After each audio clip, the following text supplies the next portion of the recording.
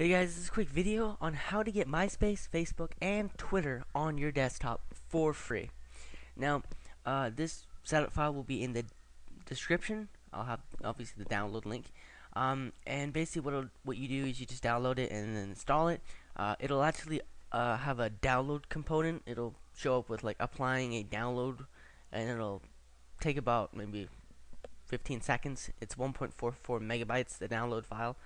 Um, and then you basically in your start menu get this Sociagami uh, double left click. If it doesn't already open when you installed it uh, you can just go to that in the start menu. Uh, you have MySpace Facebook and Twitter.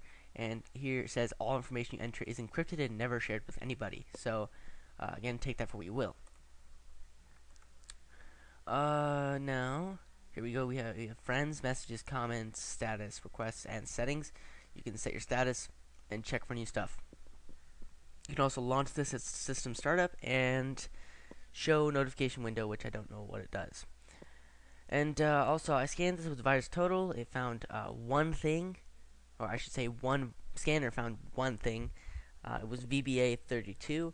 Um, if you don't trust VirusTotal, then maybe you'll trust download.com because the link that I will be providing will be to download.com. So that's basically the video. Um, so if you like this video, please rate, comment, and subscribe. And uh, thanks.